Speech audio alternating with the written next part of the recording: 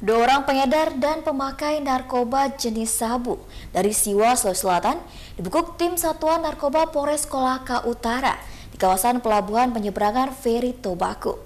Tiga paket sabu berat 4 gram disembunyikan dalam roti maros diamankan polisi.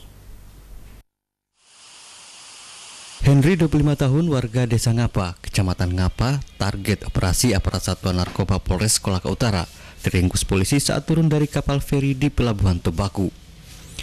Saat digeledah tas bawaannya ditemukan tiga paket sabu disembunyikan dalam dua dos berisikan roti maros.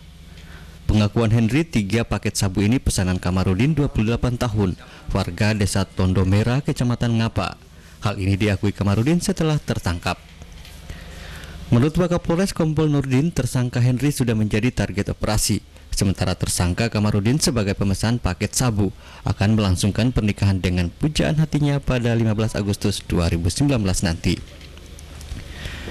Ditemukan narkoba jenis sabu sejumlah 4 gram di mana narkoba tersebut dibungkus plastik dan diisolasi warna hitam. Setelah dibuka di dalam berisi narkoba uh, dalam bungkusan roti maros. Kedua tersangka Henry dan Kamarudin dijerat pasal 112 Undang-Undang Nomor 35 Tahun 2009 tentang narkotika ancaman hukuman 12 tahun penjara.